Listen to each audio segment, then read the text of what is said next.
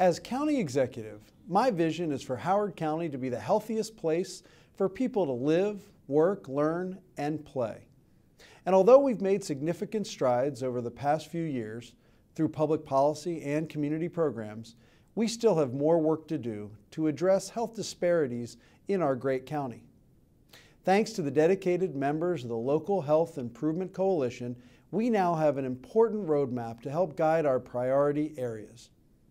I am proud that Howard County is leading the charge in Maryland to prioritize public health, and I hope you will join us in this tremendous community effort. Thank you.